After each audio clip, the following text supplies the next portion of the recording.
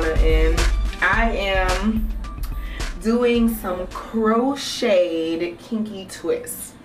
I must tell you I'm not quite sure if I like it or not.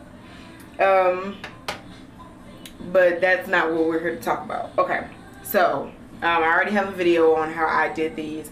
Pre-twisted these on a curtain rod that I had actually. Rodded the ends and then here's the little loop.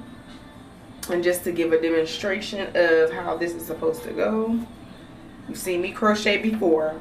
But I'm going to take the latch hook like this open.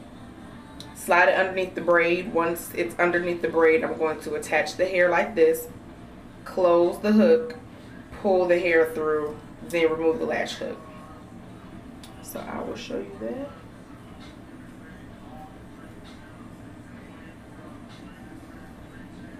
And believe it or not, even with the Marley hair being as thick as it is, it doesn't hurt to pull it through my hair. Now, I did just do some straight back um, cornrows and I didn't add any hair to like anchor it because I wasn't really sure how this was going to go, what it was going to look like. So, um, yeah. And I may have to try to close this part a little bit at the top. And I'm just looping it once, like I'm not doing anything else to like knot it.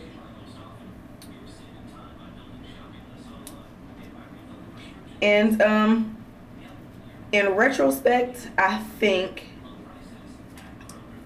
um, that if I was to do this again, okay, so first of all, let's start off with this hair. This Marley hair that I have is recycled hair. If you see my video on how I did my Havana twist, this is that same exact hair. I kept it. Once I took it out, I washed it and now I'm reusing it.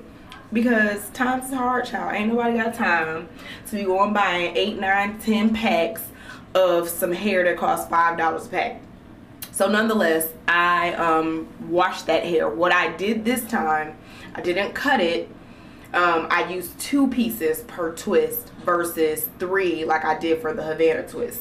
Now, what I would do for this style if I were to do it again is I would cut the hair in half and I would use um, different rollers. What I used was the very skinny rods, um, the yellow ones, if you know cold wave rods. And I rolled them up just a little bit. I would use the white or the gray ones the next time and roll them up tighter to give me a more shorter layered look if that makes sense. But um, this is what I have. Because I'm not sure that I'm really in love with it or that I like it that much I may keep it um, only for maybe two weeks in time enough for me to order some hair possibly get a sew in but um, I'll do another twist on camera just to kind of give you the full effect and then I will add some pictures. So here we go.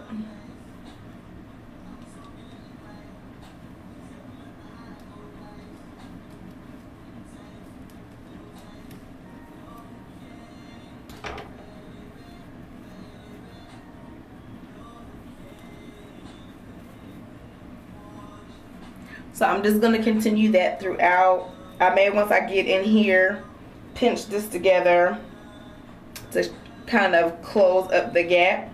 I tried to make my braids closer together but I'm not the best at braiding. I do a little something um, as far as corn rolling. But let's see if I can close this up.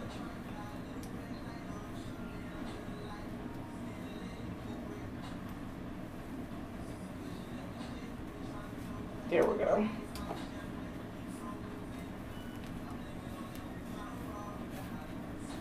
Just pull it and it closes those together. All right well i'm gonna keep going cookies and i'll come back with pictures. See you in the next video. Thanks for watching